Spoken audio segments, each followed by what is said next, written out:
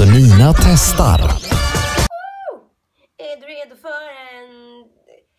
Är du redo? Jag kan inte ens låten.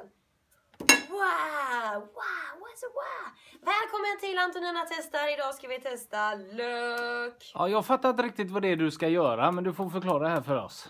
Eh, jag tänkte att vi ska se hur lång tid det tar innan jag börjar gråta. Ja, okej, vad tror du då? Det kommer nog gå jävligt bra. Ja, men jag tänkte att jag börjar och eh, filé den. Travbladen här på den här lilla löken. Kallas det blad? Jag hade en taxichaufför en gång som alltid sa vad kostar löken fröken?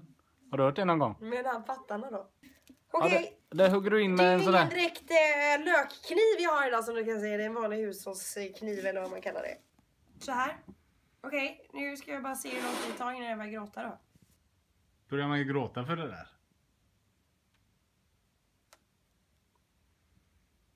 Hello, I'm Miss Onion. Nu kommer det Krille, nu kommer det, jag känner. Är det nära nu?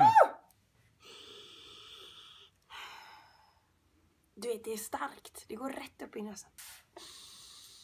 Det är tur att jag inte ska hångla idag. Hur mycket måste man hacka för att det ska komma tårar och skit då?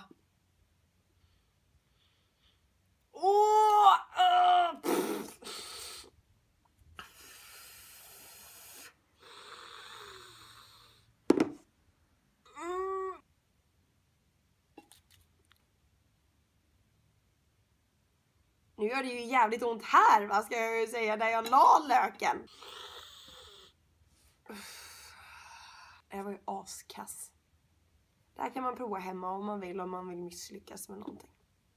Men ta inte lök i ögonen. Antonina testar.